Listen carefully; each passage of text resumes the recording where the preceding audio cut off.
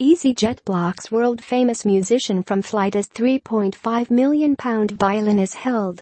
Anton Sorokow, who performs with the Vienna Symphony Orchestra, missed his flight after staff insisted the fiddle had to go in the hold as the cabin was full. But the freezing, high-altitude temperatures in the hold could damage the violin beyond repair. As a result, he had to cancel a lucrative job in Italy. His 276-year-old Guarneri del Gesù violin is on loan from the Austrian National Bank and is insured for Euros 4 million.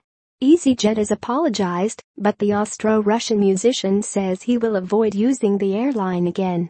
Mr. Sorokow, 40, a professor at the University of Music and Performing Arts in Vienna, said, This has never happened to me before, in all my years of flying as a professional musician, I will certainly avoid flying with them again.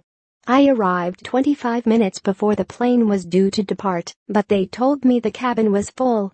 I tried to explain to them that it was a very expensive instrument, that if I put it with the rest of the baggage it would be badly damaged.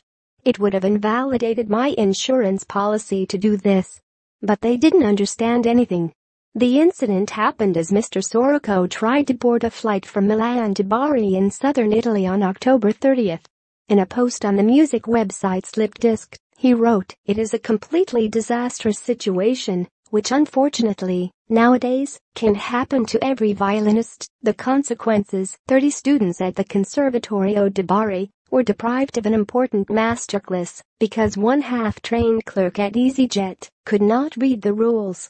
The maker of the violin, Cremonese Giuseppe Guarneri, nicknamed Del Gesù, is regarded as one of the great masters of violin making. His instruments have sold for up to pounds 10 million.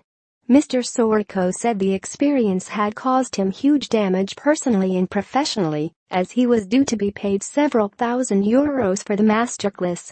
EasyJet has now apologized and has reimbursed Mr. Sorokow for his ticket. However, he said his lawyers are in talks with the airline regarding further compensation.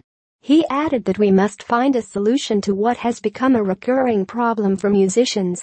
In January this year a student started a crowdfunding campaign when her cello was smashed after being placed in the hold on a domestic U.S. flight.